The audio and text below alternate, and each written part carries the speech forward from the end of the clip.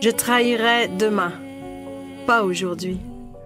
Aujourd'hui, arrachez-moi les ongles, je ne trahirai pas. Vous ne savez pas le bout de mon courage, moi je sais. Vous êtes cinq mains dures avec des bagues. Vous avez aux pieds des chaussures avec des clous. Je trahirai demain, pas aujourd'hui, demain. Il me faut la nuit pour me résoudre. Il ne me faut pas moins d'une nuit pour renier, pour abjurer, pour trahir, pour renier mes amis, pour abjurer le pain et le vin, pour trahir la vie, pour mourir. Je trahirai demain, pas aujourd'hui. La lime est sous le carreau. La lime n'est pas pour le bourreau. La lime n'est pas pour le barreau. La lime est pour mon poignet. Aujourd'hui, je n'ai rien à dire. Je trahirai demain. C'est le sourire discret d'une jeune fille juive de 22 ans, discret comme les règles de la guerre l'imposaient à cette époque pour ne pas périr tout simplement. Ça n'aurait pu être que cela, une jeune fille qui se cache au creux des mauvais jours, mais loin s'en fallait. Elle était active, elle n'avait pas peur, hein. Elle était gonflée. C'est vraiment quelqu'un qui voulait agir, quelqu'un qui ne voulait pas euh, subir.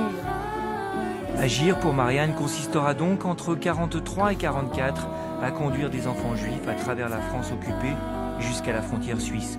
Le risque d'être pris est constant entre Limoges, Lyon et Annemasse. Elle fait passer 9 groupes, puis en général 15, 18, 20, parfois jusqu'à 30 enfants dans un groupe. Alors en avril, il passe le Fourou, cette rivière qui est là, derrière moi, et dont il faut savoir qu'à l'époque, elle était beaucoup plus, violente, beaucoup plus fournie. Et quand les enfants passaient, les petits risquaient de se noyer. Donc les grands devaient porter les petits euh, sur leurs épaules pour passer. Et même parfois, les grands avaient du mal à passer. Et pourtant, ce printemps 44, les Suisses sont devenus plus tolérants. Si tant est qu'ils arrivent à échapper à la vigilance allemande, les groupes d'enfants sont acceptés sans trop d'histoire et même un peu plus. Les douaniers suisses ont été assez, assez accueillants, ils ont même beaucoup aidé les enfants. Souvent les enfants leur faisaient signe d'en bas, puis il y avait un douanier qui allait euh, les aider, les récupérer, les aider à passer à travers les bancs.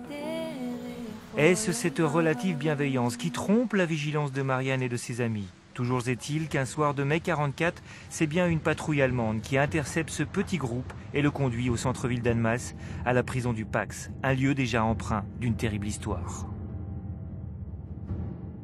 C'était la principale prison allemande de la Haute-Savoie. C'était un endroit sordide, bien entendu, parce qu'il s'est passé des choses très graves. Euh, par exemple, dans la nuit du 7 au 8 décembre, un, un lieutenant allemand a tué cinq résistants dans leur cellule. Mais Marianne Cohn ignore tout de ce lieu. Elle est confiante. D'autant plus que le maire d'Annemasse, Jean Defoe, parvient à faire sortir les plus petits enfants du Pax. Reste avec elle les plus grands. Elle essaie de les faire libérer avec son réseau au moyen de billets qu'elle fait passer à l'extérieur. Elle ne sait pas si ça va marcher, mais elle essaie. Et pour elle, elle n'a pas peur au fond. Elle pense qu'elle va partir en déportation comme les résistants, mais dans quelque temps. Mais il ne sera pas dit qu'elle échappe à ses compatriotes bourreaux, très nerveux en cette fin de guerre. Marianne Cohn est fusillée avec deux autres résistants à la mi-juillet 44. Les enfants, eux, sortiront de la prison en août, orphelins de leur grande sœur, qui n'a jamais voulu les abandonner. Il y avait eu un, plan pour libérer Marianne Cohn. Elle a été mise au courant. Elle a dit non, sinon ils vont tuer tous les enfants. C'est le sourire discret d'une jeune fille résistante, juive et allemande, dans une époque où tous ces mots n'allaient simplement pas ensemble.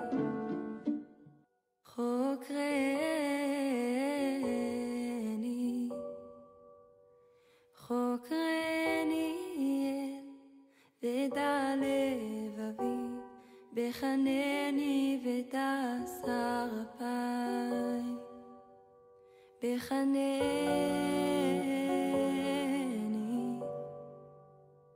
בחנני,